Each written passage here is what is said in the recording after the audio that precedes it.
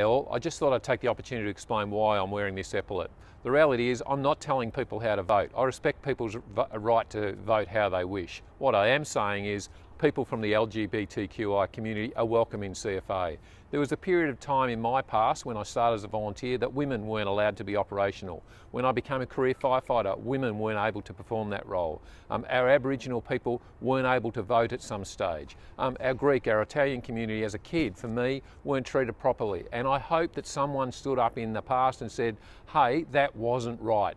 These people are absolutely welcome as part of our inclusive community. That's what I'm doing today, standing up and saying the people from the LGBTQI community are absolutely welcome, as are others from other uh, spectrums from our society.